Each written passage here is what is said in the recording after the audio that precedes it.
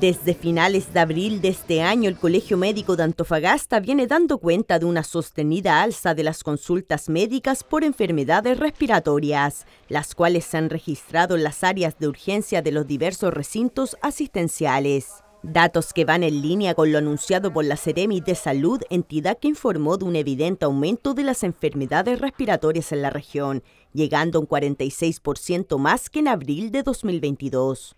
En este sentido, desde el Colmet Regional, su presidenta Pamela Chelman dio cuenta de los principales virus respiratorios que afectan a la población, especialmente a sectores de riesgo como las y los menores de dos años. Dada la situación de epidemiología local, con aumento de virus incisional respiratorio, eh, rinovirus, influenza, parainfluenza y también algunos adenovirus y metaneumovirus, es importante tener en consideración que debemos cuidar a la población infantil, especialmente a aquellos niños que tienen mayor riesgo de hacer enfermedades más graves. En este caso, particularmente los menores de 2 años, los pacientes con cardiopatías congénitas, con enfermedades neurológicas de base y también aquellos que son asmáticos que pueden descompensarse siendo incluso de edades mayores. Ante este preocupante aumento es importante mantener medidas como el lavado de manos, el uso de mascarillas para resguardar a personas sintomáticas respiratorias, evitar las aglomeraciones, entre otras.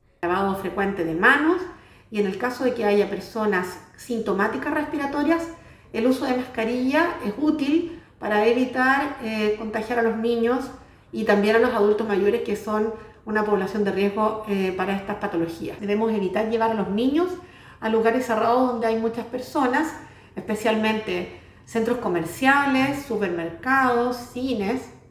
También es importante que si el niño está enfermo con un cuadro respiratorio, se quede en casa y tratar de no mandarlo al colegio para evitar una diseminación mayor de estas infecciones en los otros niños de la escuela o del jardín infantil. Por último, la profesional hizo un llamado a inocularse especialmente para evitar enfermedades infectocontagiosas en la infancia.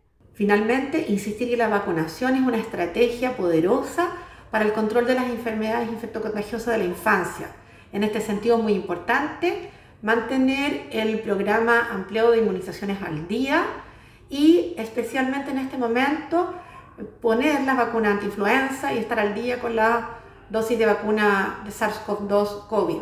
De acuerdo a datos del Departamento de Estadísticas e Información de Salud del Ministerio de Salud, entre las semanas epidemiológicas 1 a 17 de este año, la región de Antofagasta registra 42.283 atenciones de urgencia por enfermedades respiratorias. Esta cifra representa un 39% de aumento comparado a las 30.412 atenciones de urgencia por esta misma causa reportadas por el organismo durante el mismo periodo de 2022.